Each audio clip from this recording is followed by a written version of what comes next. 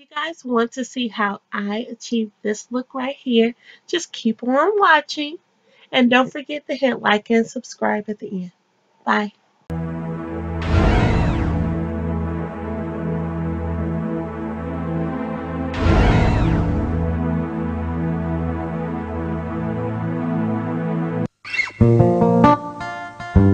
Yeah, yeah, you are my African queen. I'm going in with Ada to build up my transition color. The reason why I go further than just around my crease is because I wear glasses and I don't like to diminish the look of my eyeshadow once my glasses are on my face. So once I have Ada built up to where I want it around the crease of my eye and the outer portion of my eye, I'm going to go in with Zulu and start to build inward to transition to my primary colors. Okay, so once I have those two colors added to my eyes, I am going to go in with a dab of Fulani to even out and blend in both colors. Then I'm going to go on over to my Naked 2 palette and add blackout primarily around the outer corner of my eyes to give it a more smoky effect. If you haven't noticed, I am using the Fluffy Blender brush from my Naked 2 palette to apply the blackout. And I am using a different Fluffy Blender brush to apply and blend the other shadows onto my face, primarily because I do not want it to be darker at the top portion of my crease due to the residue left on the other blender brush from the blackout palette. Rather be safe than sorry. So now I'm going in with Glitter Glue by Too Faced on the inner portions of my eyelid, my primary colors. I am using a flat eyeshadow brush to dab and apply the Molly to the middle portion of my eyelid. I'm only going in with a little at a time. Right here I'm using Makeup Forever Starlit Powder in the color Iridescent Pearl to finish off my primary colors on the inside portion of my eye. And then blend it in with Molly from the Juvia's Place Masquerade palette. I am using a clean blending brush to go over and blend in my primary colors with each other and also my transition colors. Ooh, Lord, just like the sun. I am taking the blending brush from the Naked 2 palette with whatever is already on it. I am just adding more to give it a deeper smoky effect. I did not add more product to the blending brush. Remember, I did not add more product. I used whatever was left on the brush. The same thing for the other blending brush. I used whatever was already left. I'm using an eyeliner from Hard Candy to do my wing. But as I was editing, I noticed that I was out of focus for you guys to actually see me do the wing. So I will make sure that on another video, I am staring the camera dead in its face, figuratively speaking, so that you guys can see how I create my winged eyeliner. Okay, so right here I'm using a makeup remover wipe from Garnier Fructis to get rid of any fallout from my eyeshadows and to also sharpen my wing liner just in case there are any imperfections. Yay, it is lashes time. I think I am using my Lashes by Kiss in the color Midnight. All right, um, so I'm going to go ahead and apply my mascara. I already put my eyelash adhesive by Duo onto my lash. I'm allowing that to get tacky. So I am a beginner eyelash user. As you can see, I have long eyelashes all on my own, but I do like the dramatic look that false lashes give me, especially when it comes to taking pictures. So now I do apply them to my face and I really don't think I can ever go back. But I am still getting the hang of applying these and as you can see, yet again, I am not within the range of the camera for you guys to see how I apply my lashes. So next time, I will make sure you guys can see how I put mine on the only one I ever see with a smile so bright. I'm going in with LA Girls Orange Corrector to eliminate the dark spots under my eyes, a couple of other blemishes like the marks from my nose ring, and also the mustache line around your mouth.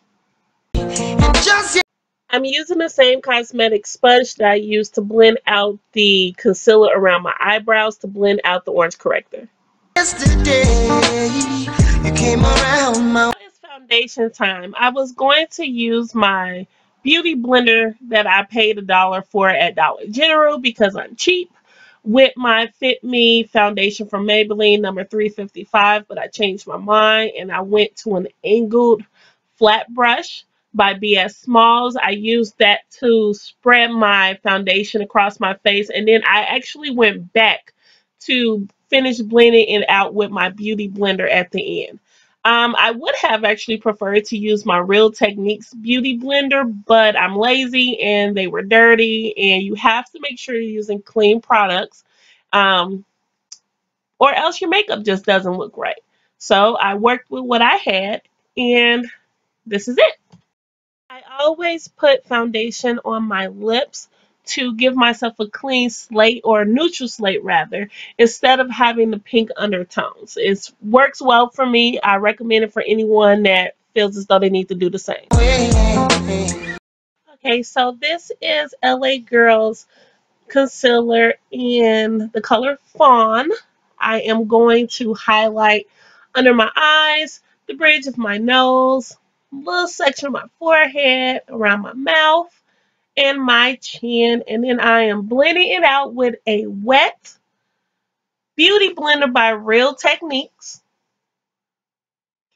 I'm going to get that really good. You don't want to leave any lines. You want it to blend right on into your skin.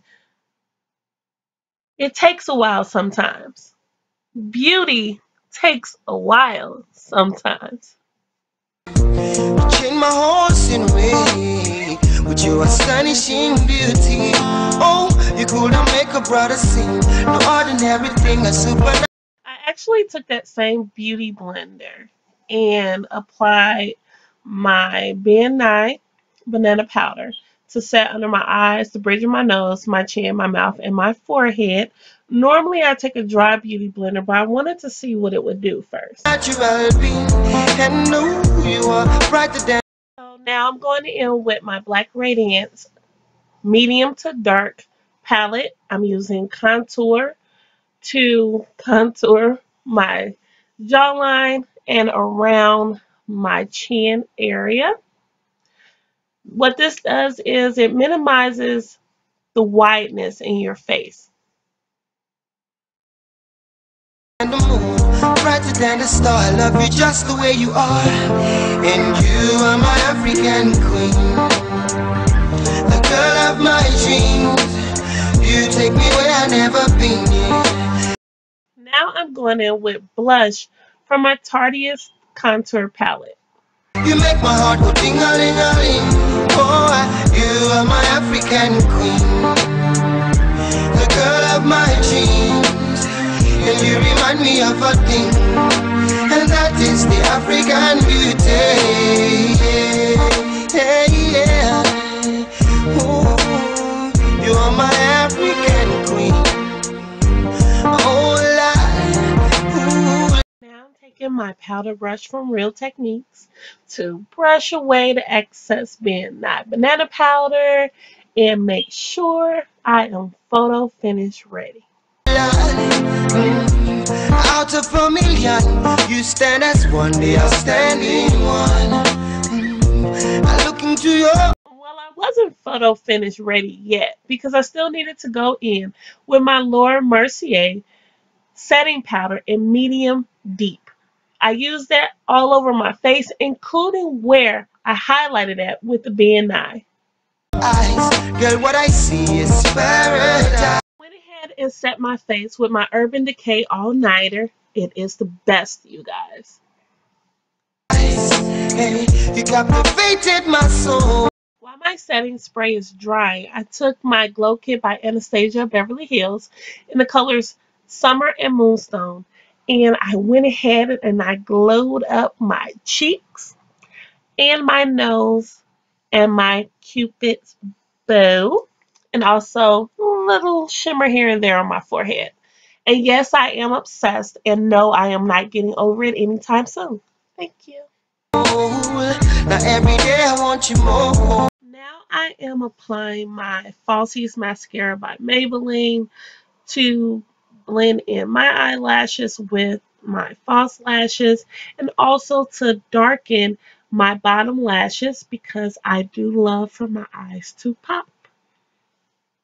I cannot deny this feeling I'm feeling inside.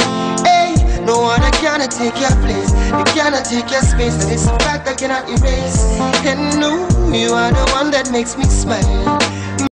Well, we these lips are done by ColourPop's, Dr. M, and Anastasia of Beverly Hills Gilded. I love these two colors combined. What I did was I outlined my lips with ColourPop's Dr. M and then I went over the outline to darken it. And from there, I pulled the color inward until I got to the middle of my mouth and I stopped. At that point, I added Gilded by Anastasia Beverly Hills. And then I also went over Dr. M with Gilded to give it a gold shimmery look. Make me float like a boat upon the Nile. Girl, you are my African queen. The girl of my dreams. You take me where I've never been. You make my heart go ding-a-ling-a-ling. Yeah, you are my African queen. I hope you guys enjoyed how I got this look here. Don't forget to hit subscribe and like below. And as always, thanks for coming to my channel, and I'll see you next time.